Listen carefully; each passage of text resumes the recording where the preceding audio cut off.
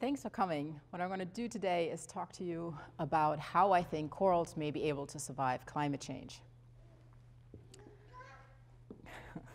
corals are unique. They exist at the interface of water and land, which is a very stressful environment, both chemically and physically. And yet reefs are geological structures built by living organisms. And the organisms that build reefs are corals.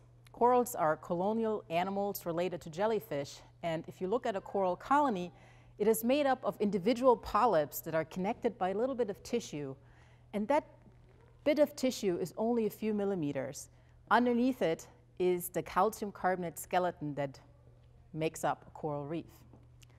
And so corals are the trees of the ocean. They build the three-dimensional structure they provide habitat for a myriad of fishes, for shrimp, for lobsters, for other animals that we rely on as food sources. So they're economically important as food sources, but also because they provide protection for our shorelines against a wave action, for example.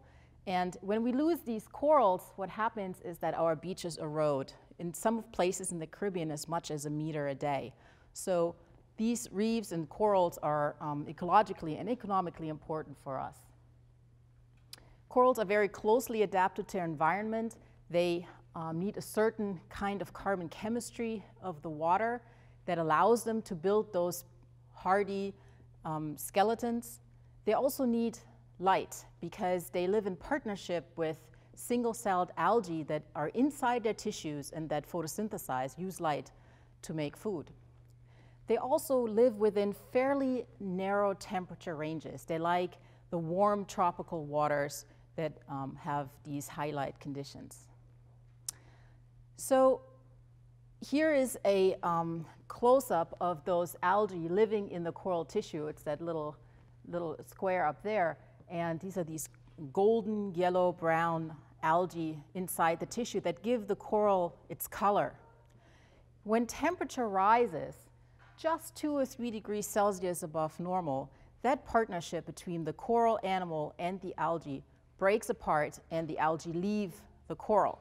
And what's left behind is the translucent animal tissue, and you can see the white skeleton of the coral beneath.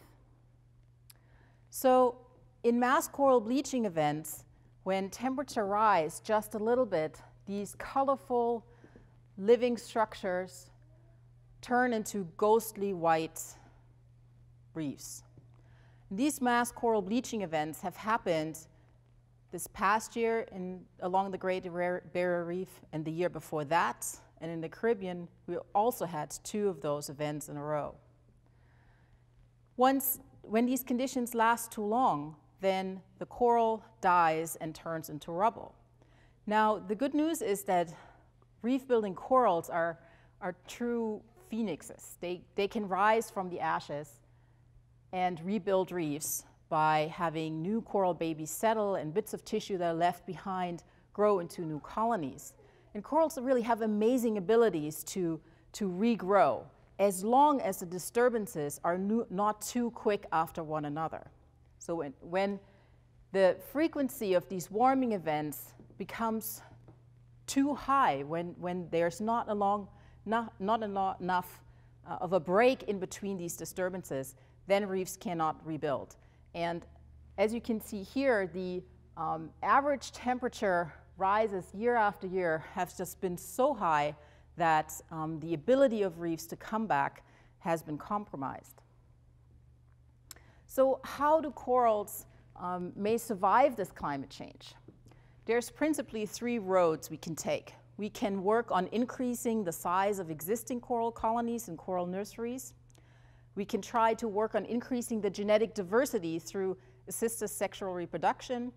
And we can foster the natural tendency of corals to hybridize to allow for more rapid adaptation to increasing temperatures. So in coral nurseries, what folks do is they take a little branch of existing wild colonies and then bring them near shore, hang them on these trees where they are off the ground, away from their natural predators, exposed to high currents and light conditions, and that results in very high growth rates. So over a short period of time, you make a lot of coral, that you then can back, put back out onto the reef. And that's beneficial because, as I said before, these corals provide habitat for other organisms and help protect our shorelines.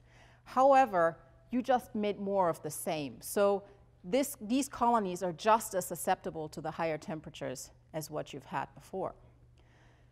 The second approach is to try to work on increasing the genetic diversity of these populations because by chance there might be a couple in there that are pre-adapted to those higher temperatures and may be able to survive them better. And this is work I've done over the past few years with a group called SECORE International, where we go out after the August full moon when these corals release eggs and sperm into the water column. We put these handmade nets over them, we collect the eggs and sperm, we cross them and make coral babies. And those we can also put back out on the reef here. And uh, we've done so quite successfully. The reason this works is because that we raise the coral babies in these really protected environments, and so we get higher survival rates from that what we would see in, in nature. This does increase genetic diversity, but it still relies on that chance event that one of these corals might be pre-adapted to the higher temperatures. So lately, uh, my group, in collaboration with researchers at Nova Southeastern Universities, have concentrated on these two severely threatened Caribbean corals, the staghorn and the elkhorn coral. And these two coral species are now at 10% of their former population sizes. But they form a hybrid. So uh, eggs and sperm from the staghorn can fertilize eggs or sperm from the elkhorn coral and make a hybrid species. This is similar to when uh, you cross a horse and a donkey and a mule results. And just like in the case of the mule, these corals, the hybrids, are supposedly sterile. So you cannot make more of those, just like um, mules will not reproduce with each other.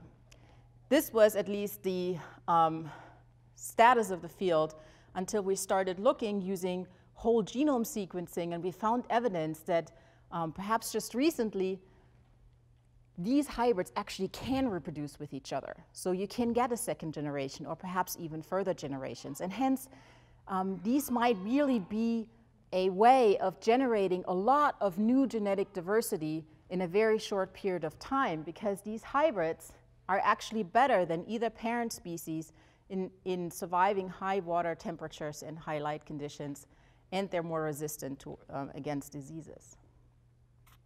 They also have really high um, morphological diversity, and so we think that perhaps this hybrid might be able to play the role that the parent species did, um, but that are now um, so severely depressed.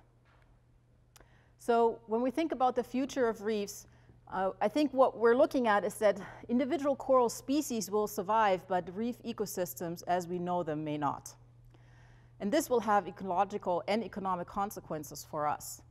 So while we work on slowing down climate change, there's a, a few active conservation measures we can take to help bridge the time until uh, temperature rise, rises slow down so that these corals can survive as the ecosystems we know.